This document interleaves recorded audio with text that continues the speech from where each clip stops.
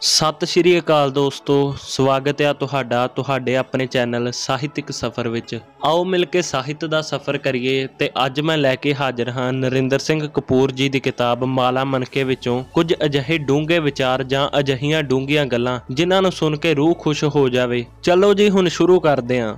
ਜੇ ਅੰਦਰ ਆਨੰਦ ਹੋਵੇ ਤਾਂ ਗੂੰਗੇ ਵੀ ਗਾਉਣ ਲੱਗ ਪੈਂਦੇ ਹਨ। ਜਿਹੜਾ ਲੜਨ ਲਈ ਤਿਆਰ ਹੋਵੇ, ਉਹ ਨਹੀਂ ਵੇਖਦਾ ਕਿ ਦੂਜਾ ਲੜਨ ਲਈ ਤਿਆਰ ਹੈ ਕਿ ਨਹੀਂ।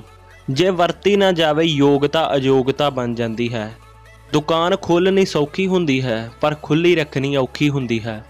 ਹਰ ਸਫਲਤਾ ਦੀ ਕੀਮਤ ਹੁੰਦੀ ਹੈ, ਜਿਹੜੀ ਮਿਹਨਤ ਨਾਲ ਅਦਾ ਕੀਤੀ ਜਾਂਦੀ ਹੈ। ਸਿਆਣੇ ਸਹਿਮਤ ਹੁੰਦੇ ਹਨ, ਮੂਰਖ ਬਹਿਸ ਕਰਦੇ ਰਹਿੰਦੇ ਹਨ। ਧਰਮ ਸਾਨੂੰ ਪ੍ਰਸੰਨ ਹੋ ਕੇ ਦੁੱਖ ਸਹਿਣ ਦੀ ਜਾਚ ਸਿਖਾਉਂਦਾ ਹੈ। ਆਪਣੀ ਸਮਰੱਥਾ ਨੂੰ ਜਾਣੋ, ਗੜਵੀ ਵਿੱਚ ਬਾਲਟੀ ਨਹੀਂ ਉਲਟਾਈ ਜਾ ਸਕਦੀ। ਅਜੇ ਤੱਕ ਕੋਈ ਵੀ ਸਵੱਬ ਨਾਲ ਅਤੇ ਅਚਾਨਕ ਸਿਆਣਾ ਨਹੀਂ ਬਣਿਆ। ਇਸ ਸੰਸਾਰ ਨੂੰ ਮਹਿਲ ਜਾਂ ਜੇਲ੍ਹ ਬਣਾਉਣਾ ਸਾਡੇ ਹੱਥ ਹੈ। ਯੋਗਤਾ ਦੇ ਪੰਜ ਪੜਾਅ ਹਨ। ਵੇਖਣਾ, ਪਰਖਣਾ, ਸਮਝਣਾ, ਸਿੱਖਣਾ ਅਤੇ ਕਰਨਾ। ਕਿਤਾਬਾਂ ਸੋਚਣ, ਮਹਿਸੂਸਣ ਅਤੇ ਕੰਮ ਕਰਨ ਦਾ ਢੰਗ ਬਦਲ ਦਿੰਦੀਆਂ ਹਨ।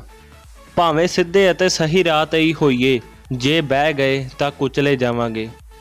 ਮਨੁੱਖ ਮਾਲ ਗੱਡੀ ਦੇ ਡੱਬਿਆਂ ਵਰਗੇ ਹੁੰਦੇ ਹਨ। ਖਾਲੀ ਬੜਾ ਖੜਾਕ ਕਰਦੇ ਹਨ, ਭਰੇ ਹੋਏ ਚੁੱਪ ਕਰਕੇ ਲੰਘ ਜਾਂਦੇ ਹਨ। ਹਾਂਜੀ, ਕਿਦਾਂ ਦੇ ਲੱਗੇ ਨਰਿੰਦਰ ਸਿੰਘ ਕਪੂਰ ਜੀ ਦੇ ਵਿਚਾਰ? ਕਮੈਂਟ ਕਰਕੇ ਜਰੂਰ ਦੱਸਣਾ। ਉਹਨਾਂ ਨੇ ਹਰ ਗੱਲ ਤਰਕ ਦੇ ਹਿਸਾਬ ਨਾਲ ਲਿਖੀ ਹੈ। ਹੁਣ ਮੈਂ ਵਿਦਾ ਲੈਣਾ ਆ ਜਲਦੀ ਹਾਜ਼ਰ ਹੋਵਾਂਗਾ ਇਸ ਵੀਡੀਓ ਦਾ ਸੈਕਿੰਡ ਪਾਰਟ ਲੈ ਕੇ। ਤਦ ਤੱਕ ਲਈ ਦਿਓ ਇਜਾਜ਼ਤ ਤੇ ਜੇ ਵੀਡੀਓ ਚੰਗੀ ਲੱਗੀ ਤਾਂ ਵੀਡੀਓ ਨੂੰ ਲਾਈਕ ਜਰੂਰ ਕਰਨਾ ਅਤੇ ਚੈਨਲ ਨੂੰ ਸਬਸਕ੍ਰਾਈਬ ਜਰੂਰ ਕਰਨਾ।